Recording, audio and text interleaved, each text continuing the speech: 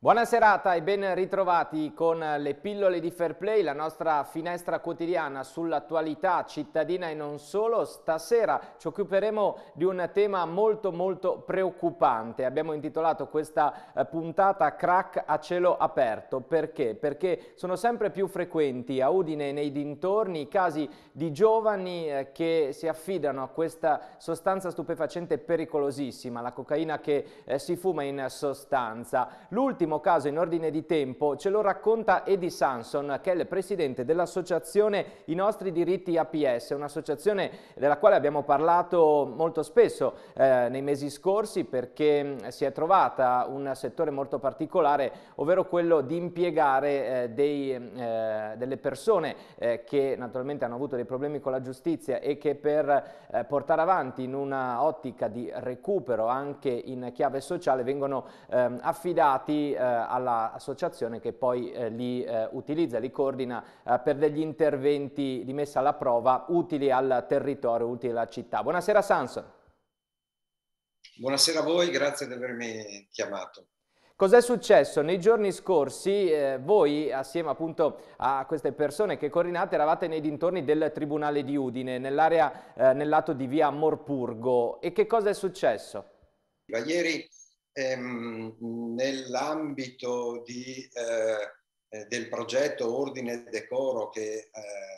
portiamo avanti nella città di Udine, ma anche in alcuni comuni limitrofi, e devo citare quello di eh, Campoformedo che ci ha dato fiducia, ehm, alcuni di noi lavoriamo sempre a piccoli gruppetti e c'è sempre un coordinatore del, dell'associazione eh, avevamo in mente di pulire appunto queste, queste, queste scale, queste, questo, questo, punto della città un po' più nascosto che però è la via di fuga eh, eventualmente dovesse succedere qualche cosa nei, eh,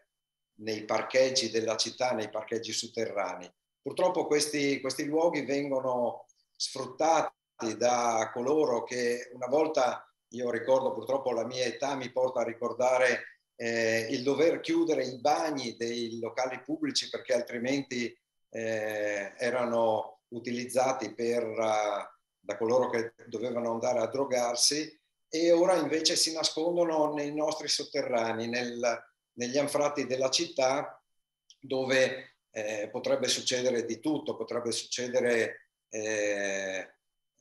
l'irreparabile e dove ieri eh, dei, dei, social, dei, lavoratori socialmente eh, utili eh, hanno sentito dei rumori, eh, hanno inteso chiamarmi perché in passato erano già state trovate delle siringhe e quelle che inquadrate adesso che sono le stagnole utilizzate per scaldare il crack e poi aspirarne i fumi. E mi hanno chiamato, io ero in zona, eh, la mia esperienza da ex carabiniere mi ha permesso di scendere eh, nel sotterraneo, di sorprendere coloro che stavano eh, adoperando questa sostanza, eh, che però eh, alla mia presenza non, cioè non è servita a nulla, non hanno desistito, hanno acceso e hanno iniziato ad aspirare. Ora, mh, mm, ha chiamato subito le forze dell'ordine, Sanson, ha avvertito di questa situazione. A quel punto ehm, Ora io non sono più obbligato alla comunicazione della notizia di reato, ma è sicuramente una violazione, è sicuramente una violazione anche accedere, visto che c'è un cartello che dovrebbe impedire alle persone non autorizzate di accedere, ma questo evidentemente non basta per il senso civico. E quindi ho eh, richiesto l'intervento di una pattuglia immediatamente intervenuta e poi eh, i carabinieri hanno fatto loro identificando, perquisendo e eh, facendo quello che è previsto mh, mm, per, per, legge. Però mh, mm, stiamo raccogliendo del, delle segnalazioni continuamente, eh, l'associazione si chiama I nostri diritti, noi, io mi sento in dovere di tutelare i nostri figli e, eh, e tutti i cittadini che non possono eh, dover sopportare delle situazioni di eh, insistenza, di, eh, non dico di sopruso perché non ho notizia di, di, di, azioni, però sappiamo bene che da qui alle bande che poi scorazzano eh, ne abbiamo contezza dai telegiornali quotidianamente e, e Udine io credo che non si possa permettere eh, di, di situazioni di questo genere, quindi credo che oltre alla repressione la prevenzione sia, sia dovuta. Oltre al, all'aspetto naturalmente di decoro urbano e di sicurezza dei luoghi c'è anche un tema di fondo che ritorna d'attualità, il consumo di queste sostanze stupefacenti, queste droghe pesanti soprattutto tra i giovanissimi. Un altro caso che avete raccolto arriva da un autobus di studenti. Sì, arriva proprio dagli studenti eh, che hanno dovuto subire questa, il consumo e l'azione è identica a quella che mi si è parata avanti ehm, eh, sabato pomeriggio. E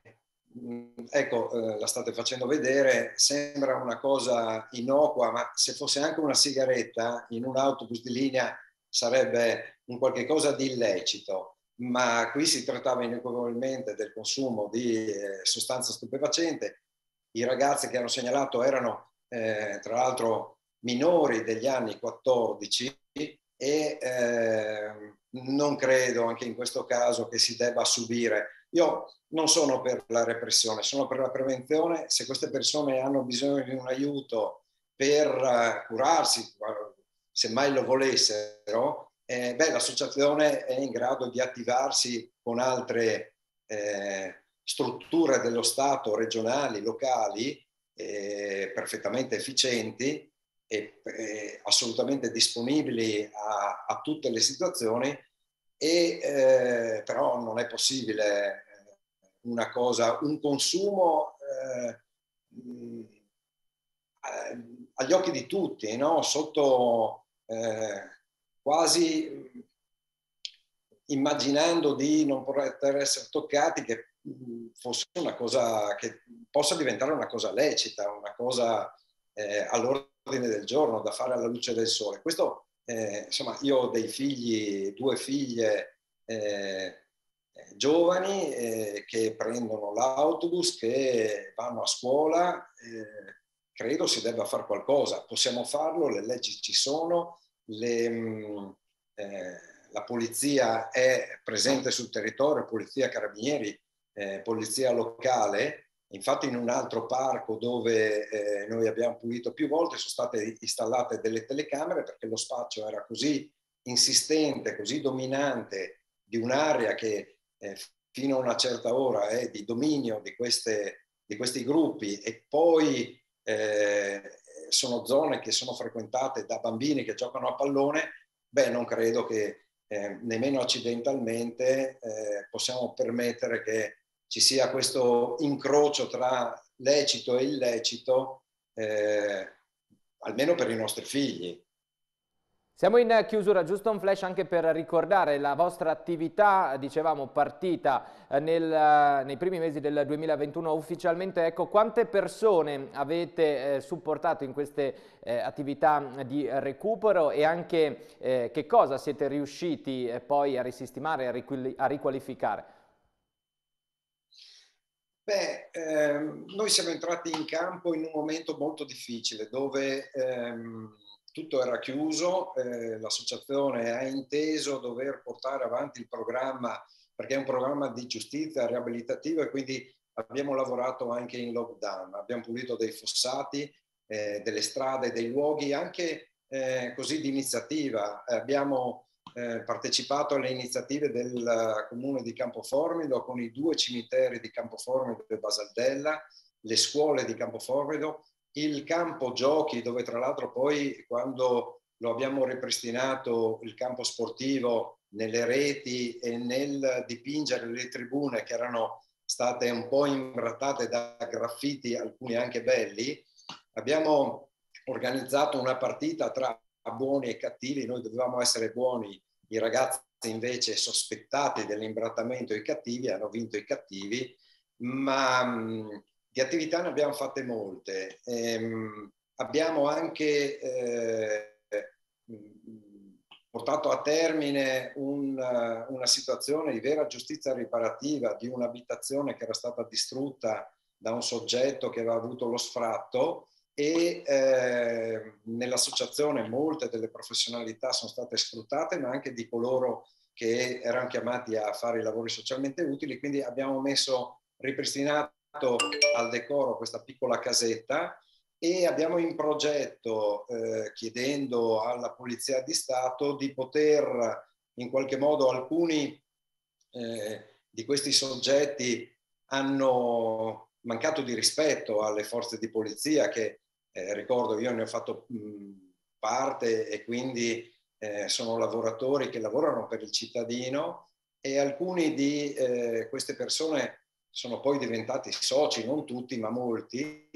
e, mh, vorrei che eh, capissero gli uni e gli altri che eh, chi ha sbagliato può recuperare e il, eh, chi porta una divisa eh, è un amico eh, al quale noi ci dobbiamo rivolgere senza paura. Quindi dobbiamo mettere in condizioni